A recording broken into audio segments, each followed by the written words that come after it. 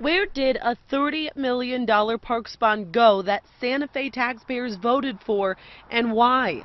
These are questions Santa Fe city councilors have been asking since earlier this year. A recent audit found the money was mismanaged. That report said the bond, among other things, was used to pay several employees and that it was spent to fix up a golf course. In all, the audit found that Santa Fe city officials overspent at least 2 million. For them, better to ask for permission for forgiveness and permission. So, you know. City Councilor Carmichael Dominguez is concerned. Has this mishap compromised the community's trust? We need to continue to work to make sure that we don't have these sorts of things happen again. Now it's your turn to weigh in. There's a public hearing tonight about all of this.